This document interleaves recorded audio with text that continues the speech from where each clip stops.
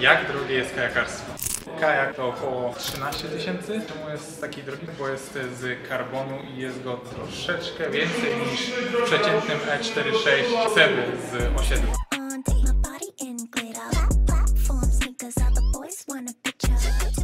Do tego mamy jeszcze wiosło, około 1,5 tysiąca, też z karbonu i fartuch około 100-150 zł. Można śmigać na kajak. Ale spokojnie, gdybyście chcieli trenować ten jakże piękny sport, to klub może nie do końca taki sprzęt, ale zapewnia Wam na start.